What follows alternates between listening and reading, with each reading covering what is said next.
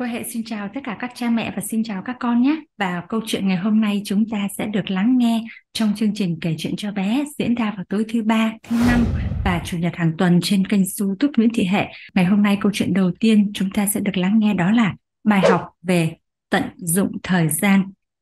Đổng Ngộ sinh vào cuối thời Đông Hán, người tỉnh Thiểm Tây Trung Quốc. Ông từ nhỏ đã đam mê đọc sách sau này trở thành một học giả nổi tiếng thời Tam Quốc. Đổng ngộ mồ côi cha mẹ từ nhỏ, thời đó trời hạn hán chiến miên, cuộc sống của người dân rối ren khổ cực. Ông và anh trai thường xuyên phải chịu cảnh không có cơm áo để mặc. Hai anh em phải rời bỏ quê hương đến nương tựa nhà họ hàng ở, thân thích. Hàng ngày khi trời còn chưa sáng, Ông và anh đã lên núi kiếm củi, buổi chiều gò củi ra chợ bán. Số tiền kiếm được ít ỏi cũng chỉ đủ duy trì cuộc sống qua ngày mà thôi. Ngày nào cũng thế, cứ xong việc là đồng ngộ lại ê ẩm khắp cả người. Tuy mệt nhưng ông không hề nghỉ ngơi. Thay vào đó, ông tranh thủ từng giây phút đọc sách. Những hôm trời mưa to, ngoài đường thì trơn trượt, lầy lội không thể leo lên núi để kiếm củi. Đồng ngộ đã dậy sớm, sau khi gấp gọn chăn màn và vệ sinh cá nhân xong, ông ra bàn ngồi đọc sách. Căn phòng đã cũ và từng giọt mưa đã rột xuống để thấm ướt hết cả áo của ông, nhưng ông vẫn không hề để tâm bởi rằng trên tay ông đang say sưa đọc sách. Mùa đông, băng tuyết đã phủ kín mặt đường, bên ngoài thì gió rít từng cơn. Tuyết thì trắng rơi xóa đầy ở trên đường và trong phòng đồng ngự vẫn ngồi để chăm chú đọc sách. Vừa không ngừng dậm chân, xoa tay để giữ ấm, ông đã suýt xoa và vẫn cầm ở trên tay một cuốn sách để đọc. Một lần, trong lúc đang chăm chú đọc sách thì một cơn gió đã thổi tung cửa sổ và mang theo những hơi lạnh và những bông tuyết vào trong phòng. Đồng ngộ đã vội đứng dậy và đóng cửa, nhưng suýt nữa thì ngã nhào. Lúc này, ông mới nhận ra rằng hai chân đã tê cứng vì lạnh của ông đã không còn cảm giác gì nữa. Ông cố gắng lết từng bước tiến đến để đóng cửa sổ lại, sau đó chạy quanh căn phòng vài vòng. Khi cơ thể đã bắt đầu ấm dần lên, ông lại quay lại rồi ngồi vào bàn để đọc sách. Nhiều hôm, ông đã đọc sách đến tận khuya, khi thấy có những dấu hiệu buồn ngủ, hai mắt ông đã trùng xuống, ông liền đứng dậy đi rửa mặt bằng nước lạnh, rồi đợi đến khi tỉnh táo lại ngồi vào bàn để đọc sách. Đồng ngộ nhờ biết đến tận dụng thời gian tối đa của mình và nghị lực phi thường của bản thân đã đọc được rất nhiều sách và ông đã có những nghiên cứu rất sâu sắc và độc đáo về hai bộ sách Lão Tử và Tà Truyện. Nhiều người đã hỏi ông bí quyết của sự thành công, ông khiêm tốn trả lời, tôi tận dụng ba khoảng thời gian nhàn rỗi để đọc sách. Ba khoảng thời gian nhàn rỗi của chính ông là Thứ nhất, mùa đông lạnh giá, rất ít việc đồng áng. Đây là khoảng thời gian nhàn rỗi ở trong năm. Thứ hai là buổi tối, trời tối cũng không thể lên núi để kiếm củi được. Đây là khoảng thời gian nhàn rỗi trong ngày. Thứ ba là khi thời tiết xấu cũng không thể đi làm được việc gì. Đây là khoảng thời gian nhàn rỗi vào ban ngày. Đồng ngộ tuy sinh ra và lớn lên trong thời chiến tranh loạn lạc chỉ nhờ vào kiếm củi sống qua ngày, nhưng ông đã biết cách tận dụng tối đa thời gian nhàn rỗi để đọc sách và trau dồi kiến thức. Sau này, ông đã trở thành một học giả nổi tiếng thời Tam Quốc. Các con thân mến, có một à, đại văn hào đã rất nổi tiếng đã từng nói rằng là à, người mà biết tận dụng thời gian á, thì sẽ có quỹ thời gian nhiều hơn những người khác à, các con biết rằng trong cuộc sống hiện nay của chúng ta thì chắc chắn rằng mỗi một con người đó đều có một sự công bằng. Vũ trụ đều cho tất cả chúng ta sự công bằng giống nhau. Đó là chúng ta đều có 24 giờ. Thế thì trong 24 giờ đó chúng ta làm gì? Ờ, có những người thì rất là siêng năng đọc sách có những em bé thì lại giúp đỡ công việc nhà cho ba mẹ có những em bé thì chơi những môn thể thao để làm cho cuộc sống của chúng ta được trở nên lành mạnh. Hay là có những em bé thì siêng năng là đọc truyện những chuyện cổ tích hay là những câu chuyện tranh.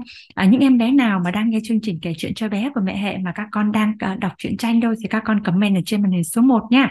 Còn em bé nào mà đang đọc truyện cổ tích thì comment số 2 hay là những em bé nào dành thời gian để chúng ta vẽ thì comment trên màn hình cho cô hệ là số 3 các con biết không, thời gian ai cũng như nhau, đều có 24 giờ.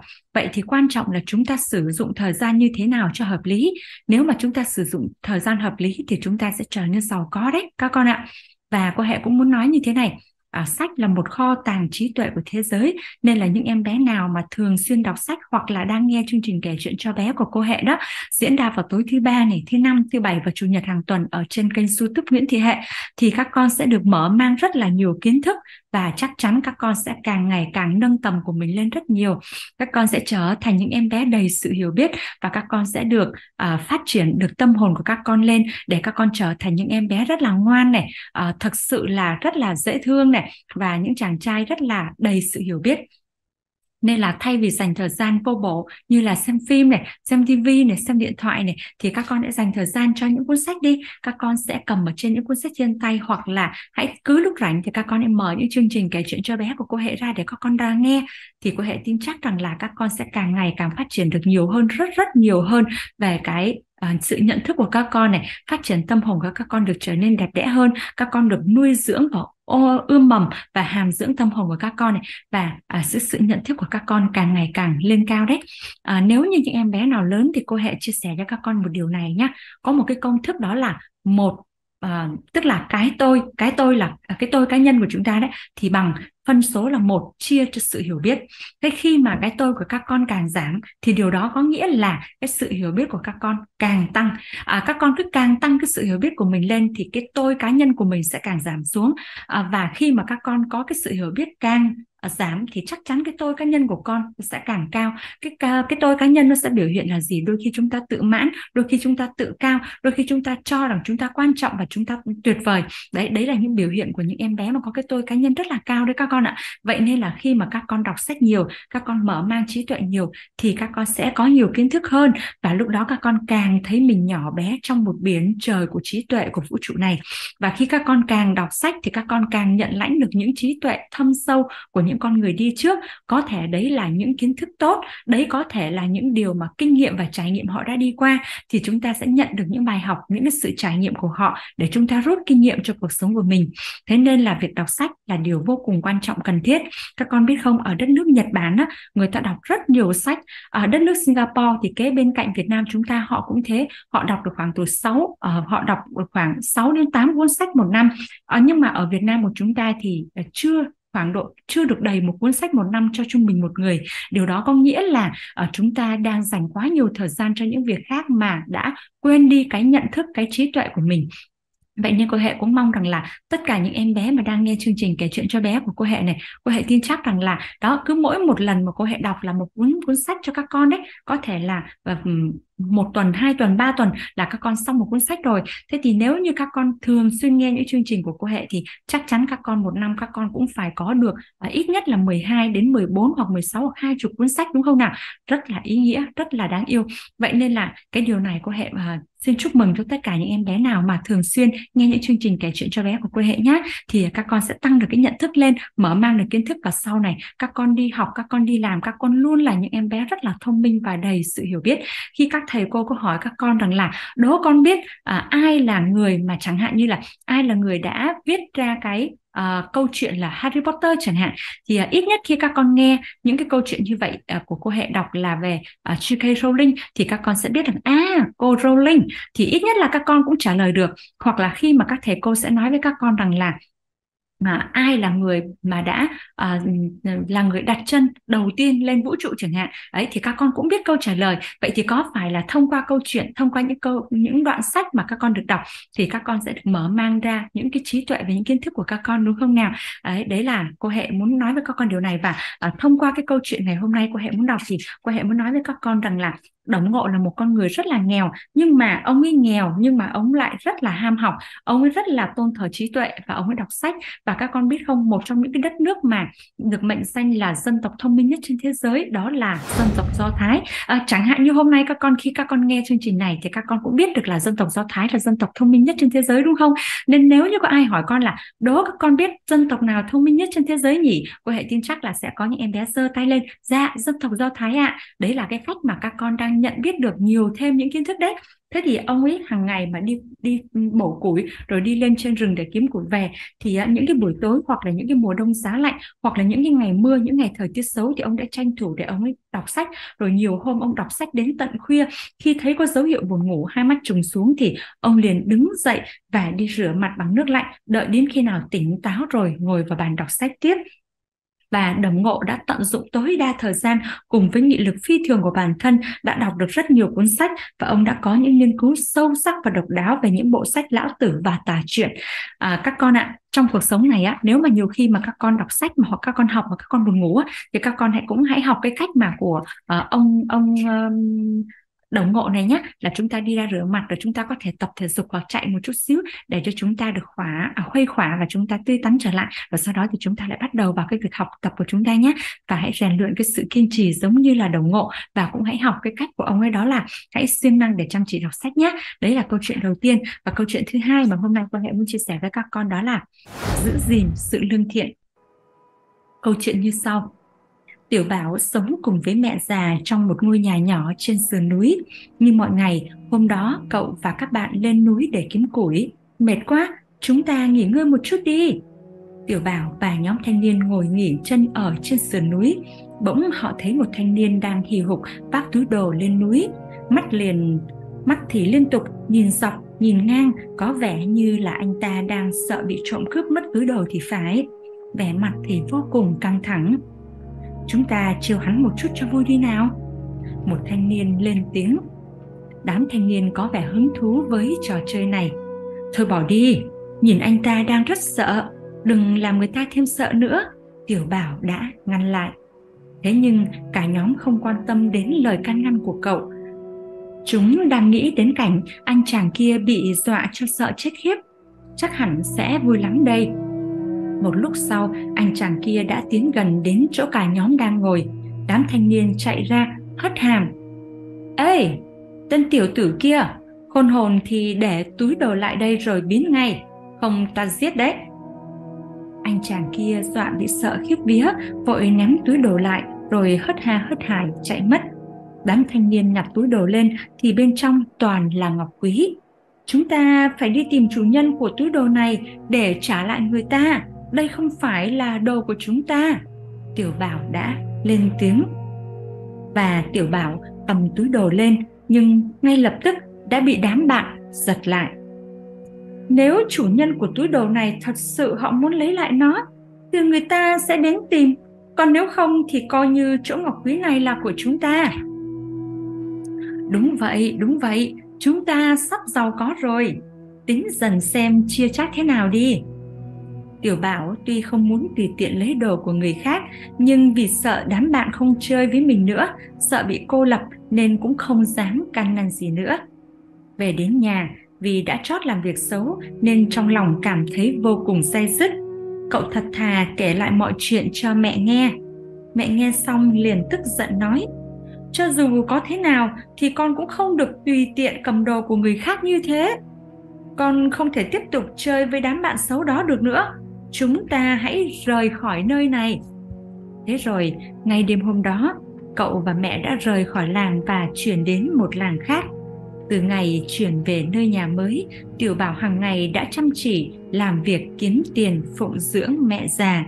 Số ngọc quý kia cậu cất vào một chỗ rất kín, cho dù cuộc sống có túng thiếu cũng không bao giờ cậu nghĩ đến việc sẽ dùng chúng. Cậu tự nhủ số ngọc đó không phải của mình, sau này mình sẽ trả lại cho chủ nhân của nó. Thời gian cứ thế trôi đi, tiểu bảo cũng đã lấy vợ, sinh con đẻ cái. Bởi chăm chỉ làm nên cuộc sống gia đình vô cùng sung túc và đủ đầy. Bỗng một ngày, một nhóm quan sai dịch xông thẳng vào nhà anh.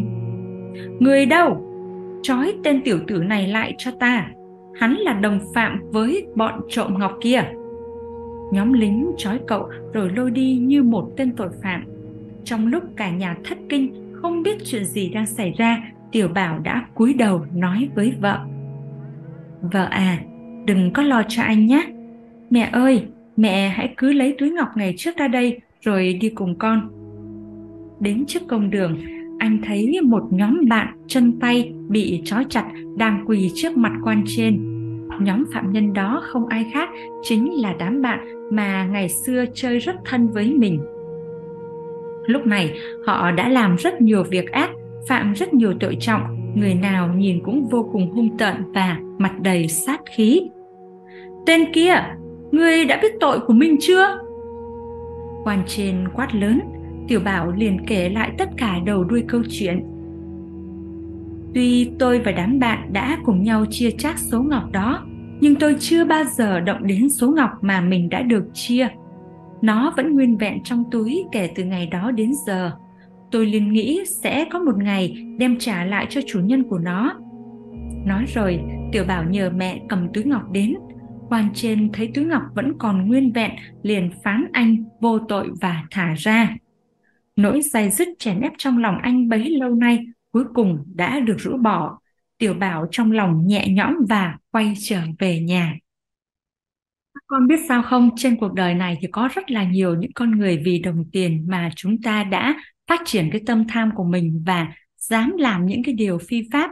Và thực sự cũng vì đồng tiền mà rất là nhiều người đã làm những chuyện mà rất trái với lương tâm. Và trong cái câu chuyện này thì các con hãy học cái cách mà của tiểu bảo đấy. Tiểu, tiểu bảo là một con người mà rất là tuyệt vời. Khi mà một cái nhóm bạn đó thì cố tình trêu ghẹo người khác khi mà hắn thấy rằng là có một cái chàng thanh niên hì hục vác cái túi đồ lên vai và mắt liên tục nhìn dọc nhìn ngang có vẻ như anh ta đang sợ trộm cướp thì các bạn của tiểu bảo đã nghĩ ra một cái trò là uh, hãy làm cho cái hắn kia gọi là uh, sợ thêm một lần nữa nhé thế thì lúc này á, tiểu bảo đang ngăn lại và tiểu bảo là một chàng trai cực kỳ hiểu chuyện, đúng không? À và tiểu bảo cũng đã biết rằng là điều này thì không hề tốt một chút xíu nào. Thế nhưng mà cả cái nhóm bạn kia thì đều không quan tâm và cứ thế và bắt đầu dọa nạt cho anh ta sợ phát kiếp. Và cuối cùng anh chàng kia đã phải vứt lại toàn bộ cái đồ mà những cái, một cái túi đồ toàn là ngọc và cuối cùng thì những người bạn xấu này đã chia chác nhau. Và khi mà tiểu bảo cũng đã biết được rằng là những cái điều này sai trái và khi cầm cái túi ngọc về nhà cùng với mẹ, thì tiểu bảo đã tường thuật lại cho mẹ nghe một cách rất là đầu đuôi. Và chính mẹ là một con người rất là tuyệt vời. Đã nói với tiểu bảo là chúng ta không thể chơi với những bạn xấu mà chúng ta cần phải đi. Và lúc này thì mẹ đã cùng với tiểu bảo ngày hôm sau là chuyển đến một lôi ngôi làng khác. Và từ ngày chuyển về nhà mới, tiểu bảo càng ngày càng chăm chỉ và kiếm tiền để phụng dưỡng mẹ già số ngọc quý kia thì cậu không hề xài mà cậu đã cất đi vào một chỗ kín. Cho dù cuộc sống có túng thiếu thế nào thì tiểu bảo cũng không nghĩ đến việc là dùng chúng. Và tiểu bảo đã tự nhủ như thế này này, số ngọc đó không phải của mình sau này mình sẽ trả lại cho chủ nhân của nó. Và thời gian thì cứ thế thấm thoát trôi đi. Khi tiểu bảo cũng đã có gia đình, lấy vợ, sinh con đẻ cái thì ờ, một ngày nọ đã đã có một người quan đã đến để bắt tiểu bảo. Nhưng mà bởi vì cái tấm lòng trong sạch, bởi vì tấm lòng thiện lương thì các con hiểu đấy. Đó là khi mà chúng ta đã sống ngay, sống thẳng thì chúng ta không có gì phải sợ sệt, đúng không nào? Và những cái người bạn của tiểu bảo thì ờ, vì cái việc mà đã không giữ gìn bản thân, thế nên là không những đã làm những cái chuyện không hay mà sau đó đó thì uh, đã còn làm rất là nhiều những chuyện không hay khác. Và bắt đầu là cái khuôn mặt của họ đã biến sắc đi. Các con biết là có một cái câu rất hay đó là tâm sinh tướng à, cô hệ nói đủ đầy đủ như thế này. Tướng tùy tâm sinh và tướng tùy tâm diệt khi mà tướng ngoại, tức là tướng mạo, tức là cái hình thể ở bên ngoài của các con ấy. Vậy thì à, tướng tùy tâm sinh có là khi mà bên trong cái tâm của chúng ta là bình an, là hạnh phúc, là thiện lành, thì các con sẽ toát ra cái hình tướng ở bên ngoài. Rất là đẹp, rất là xinh xắn, rất là đáng yêu, rất là phúc hậu. Nhưng khi mà bên trong của các con lớn lên lớn lên lớn lên, mà các con không có cái tâm từ bi, mà các con có tâm ác thì cái khuôn mặt thì rất là góc cạnh khuôn mặt thì rất là méo mó và khuôn mặt thì rất là khó ưa nhìn. Vậy nên là các con biết không, khi mà các con có được một cái tâm từ bi. Các con lại siêng năng đọc truyện để mở mang trí tuệ. Các con hiền lành các con muốn giúp đời giúp người. Các con sống thật các con sống chân thành. Thì các con sẽ luôn luôn có một cái vẻ đẹp rất là lạ thường mà người khác nhìn con là đã thấy cảm đã thấy yêu đã thấy là mến. Vậy nên là các con luôn luôn phải tu dưỡng bản thân của mình nhé. Hãy có lòng từ bi hãy có sự chân thật hãy giúp đỡ người khác thay vì là uh, đi ăn trộm ăn cướp giống như là những cái người bạn ở trong câu chuyện này và chúng ta cũng hãy học uh, tiểu bảo ở một điều đó là là một chàng trai hết sức trung thực nhưng cũng rất là hiếu thảo với mẹ cha. Khi mà cậu trong đói nghèo như thế nhưng mà không vì những cái viên ngọc những cái hòn ngọc mà cậu đã nhận được mà cậu đã dùng nó mà cậu đã cất giữ ở một nơi và vẫn âm thầm làm việc để phụng dưỡng cho người mẹ của mình. Đấy là thể hiện cho cậu ấy là một chàng trai mà rất là hiếu thảo đấy các con ạ. Và bất kỳ một em bé nào mà hiếu thảo với cha mẹ như thế thì đều nhận được một cái cuộc sống thiện lương. Và các con biết không? À, khi mà vì cậu ấy cũng như thế thế nên là à, trong cái câu chuyện này có nói rằng là um, trong một thời gian ấy, thì vì là ăn ở rất là tốt thế nên là gia đình của tiểu bảo cũng đầy đủ và sung túc bởi chăm chỉ làm ăn nên cuộc sống của gia đình vô cùng sung túc và đủ đầy. Đấy và rõ ràng là gì? Có thực thì mới vực được đạo và cô hề chia sẻ với các con điều này nhé có thực mới vực được đạo ở đây có nghĩa là làm thực này làm tử tế này làm chân thành này làm bằng đạo đức của chính mình này, làm chính bằng đôi tay và công sức của các con này thì các con sẽ vực được cái đạo đức lên. Mà có đức thì ắt có phúc mà có phúc thì ắt có phần. Thế nên các con nhìn thấy rằng là mình có nhà cửa ruộng vườn xe cộ hay là có cái sự đầy đủ giàu có về mặt tinh thần về mặt vật chất về mối quan hệ về sức khỏe thì điều đó thể hiện là đó là những cái điều mà các con đang có phúc phần đấy. Vậy nên các con thân mến chúng ta phải thực sự làm bằng Ờ, đôi bàn tay của mình làm bằng từ trái tim của mình, làm bằng tình yêu thương của mình, làm bằng từ những cái mà ờ, các con công sức thật của mình. Ờ, chứ các con không thể nào mà đi làm giả được. Đấy chẳng hạn như là sau này các con lớn lên nhé các con làm cái gì cũng phải tử tế đến tận cùng thì các con sẽ luôn luôn có được những phước đức. Và khi mà các con có phước đức tốt như thế thì các con cứ yên tâm là gia đình và gia đạo của các con sẽ liên yên vui à, và cuộc sống thì sung túc và đủ đầy. Còn những em bé nào có một cái trái tim rất là thiện lương nhân ái thì bao dung à, vị tha và giúp đời giúp người thì các con sẽ có một cái hình tướng rất là xinh đẹp à, rất là thông minh. Những chàng trai thì rất là thanh tú những cô gái thì rất là xinh đẹp dễ thương và sau này lớn lên thì rất là phúc hậu đấy các con ạ đấy là những thông điệp mà cô hệ muốn chia sẻ cho các con ngày hôm nay nhé. Thế nên là hãy uh, làm việc bằng mồ hôi công sức của chính mình chứ không dùng những cái hành động phạm pháp để chiếm đoạt ở uh, những thứ mà không thuộc về mình. Đó là câu chuyện thứ hai mà hôm nay cô hệ muốn chia sẻ cho các con. Và bây giờ thì đến câu chuyện thứ ba cô hệ muốn chia sẻ cho các con nhé. Các con hãy comment số 3 ở trên màn hình uh, để cô hệ sẽ đọc cho các con nghe câu chuyện thứ ba như sau. Lý Hạ đi tìm kho báu. Nhà thơ nổi tiếng thời đường. Lý Hạ là một tài năng hiếm có trên thi đàn Trung Quốc, dân gian gọi ông là quỷ tài. 7 tuổi, ông đã biết làm thơ, mười mấy tuổi đã có thể xuất khẩu thành thơ. Thời đó không ai là không ngợi khen cái tài năng của ông.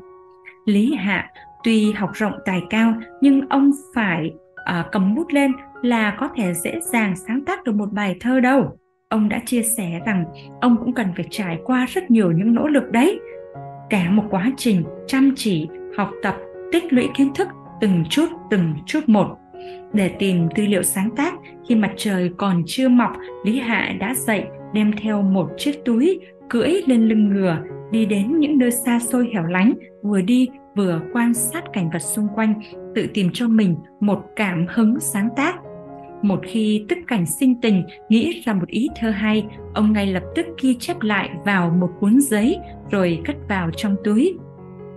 Ban đầu, mẹ của lý hạ thì không để ý, cứ nghĩ là ông đi chơi. Về sau, thấy ông một năm 12 tháng, ngày nào cũng ra ngoài, mới bắt đầu chú ý đến.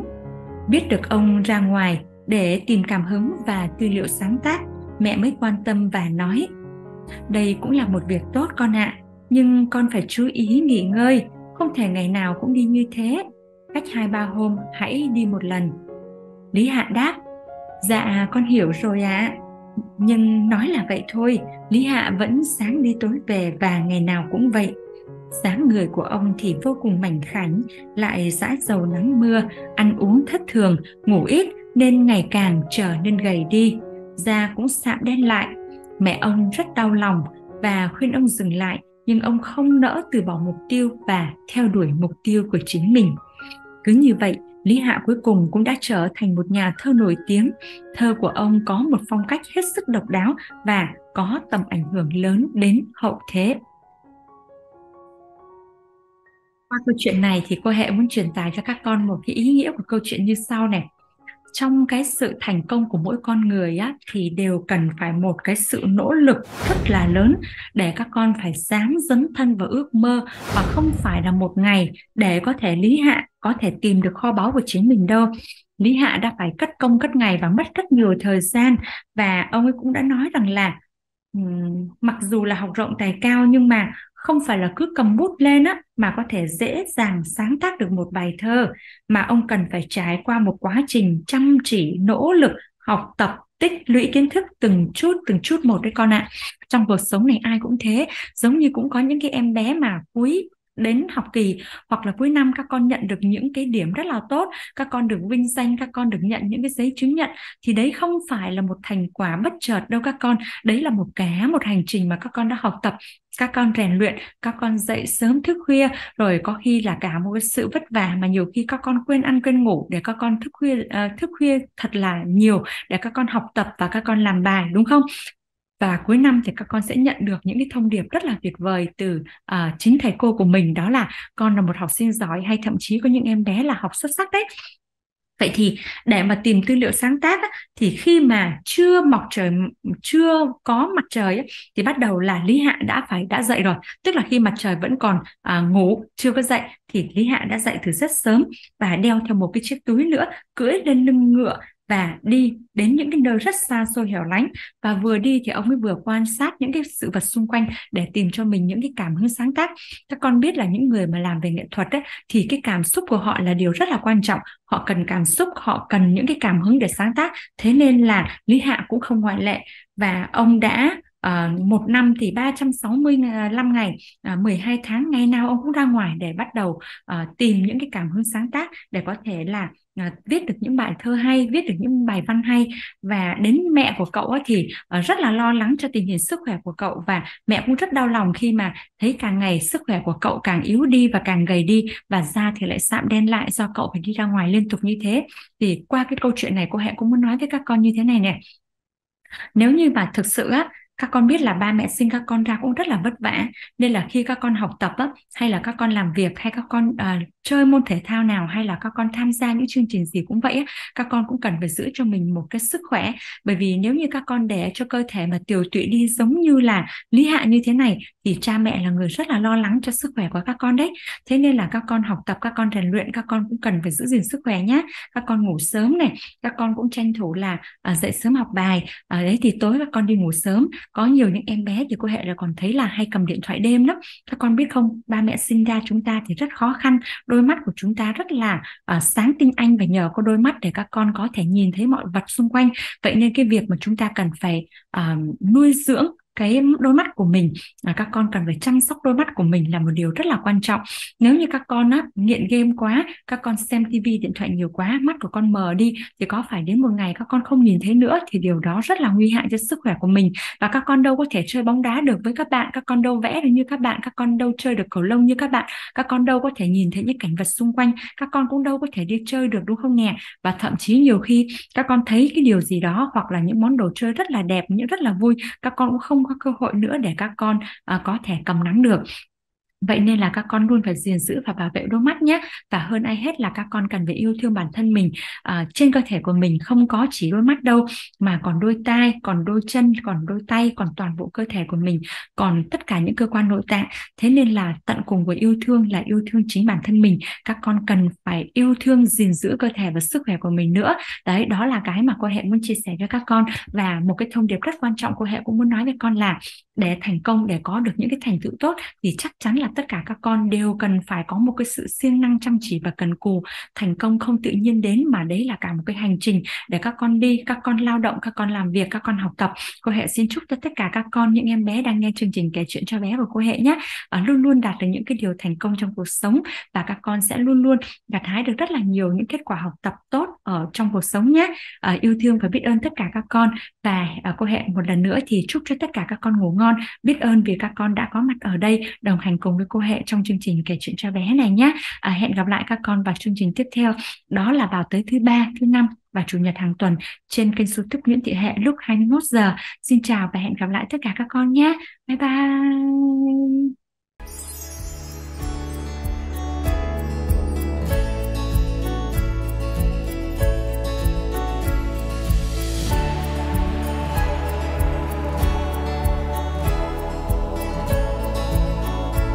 Master Coach Nguyễn Thị Hệ lan tỏa hạnh phúc, tử tế và tri thức.